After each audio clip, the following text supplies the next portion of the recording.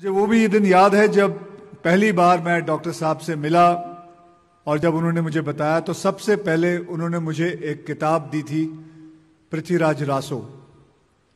और वो किताब मुझे कहा गया था कि इसे आहिस्ते आहिस्ते पढ़ो। ऑब्वियसली उसके जो शब्द थे, वो काफ़ी कठिन थे तो डॉक्टर साहब बैठते थे, मुझे समझाते थे।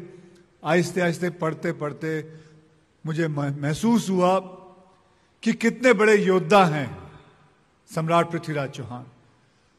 और हम जब हिस्ट्री किताब में जब पढ़ते हैं तो सिर्फ़ एक पैराग्राफ आता था उनका।